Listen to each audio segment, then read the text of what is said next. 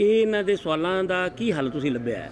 ਦੇਖੋ, ਇਹ ਪੈਨਸ਼ਨਰਸ ਨੇ ਅੱਜ ਇੱਥੇ ਮੀਟਿੰਗ ਕਰਕੇ ਸਾਰੇ ਹੀ ਉਮੀਦਵਾਰਾਂ ਨੂੰ ਬੁਲਾਇਆ ਔਰ ਉਹਨਾਂ ਨੂੰ ਕਿਹਾ ਕਿ ਆਪਣੇ ਵਿਚਾਰ ਦਿਓ, ਨਾਲੇ ਜੋ ਇਹਨਾਂ ਦੀਆਂ ਮੰਗਾਂ ਉਹਨਾਂ ਦੇ ਬਾਰੇ ਦੱਸੋ।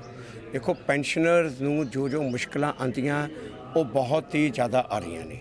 ਔਰ ਸਾਡੀ ਪਾਰਟੀ ਦਾ ਜੋ ਸੰਕਲਪ ਇਹ ਆ, ਹਰ ਨਾਗਰਿਕ ਨੂੰ ਜੋ ਇਹ ਮੁਸ਼ਕਲਾਂ ਆ ਰਹੀਆਂ ਇਹ ਪੋਲੀਟੀਸ਼ੀਅਨਾਂ ਦੇ, ਸਿਆਸੀ ਬੰਦਿਆਂ ਦੇ, ਨੇਤਾ ਦੇ ਪਿੱਛੇ ਪਿੱਛੇ ਭੱਜਣਾ ਪਵੇ, ਉਸ ਗੱਲ ਨੂੰ ਖਤਮ ਕੀਤਾ ਜਾਵੇ।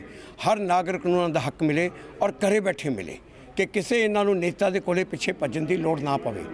ਔਰ ਇਹਨਾਂ ਦੀ ਜਿਹੜੀ ਮੁੱਖ ਜ਼ਿਆਦਾ ਮੰਗਾਂ ਨੇ, ਉਹ ਮੈਡੀਕਲ ਅਲਾਉਂਸ ਦੀਆਂ ਔਰ ਉਹ, ਇਹ ਸਾਡੀ ਪਾਰਟੀ ਦਾ ਸੰਕਲਪ ਹੀ ਇਹ ਆ ਕਿ ਸਰਕਾਰੀ ਹਸਪਤਾਲ ਵਧੀਆ ਤੋਂ ਵਧੀਆ ਹੋਣ, ਮੁਫਤ ਇਲਾਜ ਦਾ ਹਰ ਨਾਗਰਿਕ ਦਾ ਹੱਕ ਹੈ, ਸਰਕਾਰ ਦਾ ਫਰਜ਼ ਹੈ। ਦੂਜਾ, ਸਰਕਾਰੀ ਸਕੂਲ ਵਧੀਆ ਤੋਂ ਵਧੀਆ ਅੱਛੇ ਮਿਆਰ ਵਾਲੇ ਹੋਣ ਔਰ ਨਜ਼ਦੀਕ ਹੋਣ।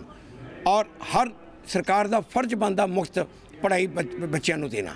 ਔਰ ਤੀਜੀ ਗੱਲ, ਹਰ ਨਾਗਰਿਕ ਦਾ ਹੱਕ ਬਣਦਾ ਸੁਰੱਖਿਆ ਔਰ ਸਰਕਾਰ ਦਾ ਫਰਜ਼ ਬਣਦਾ ਉਹਨਾਂ ਨੂੰ ਸੁਰੱਖਿਆ ਦੇਣਾ।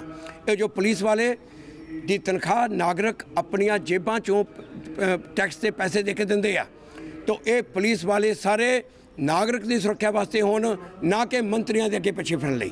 ਇਹ ਸਾਡੀ ਪਾਰਟੀ ਦਾ ਪੂਰਾ ਸੰਕਲਪ ਹੈ ਔਰ ਇਹੀਓ ਅਸੀਂ ਕਰਾਂਗੇ ਔਰ ਇਹੀਓ ਮੈਂ ਅੱਜ ਇਹਨਾਂ ਨੂੰ ਪੂਰੇ ਦਾ ਪੂਰਾ ਵਿਸ਼ਵਾਸ ਦੇ ਕੇ ਜਾ ਰਿਹਾ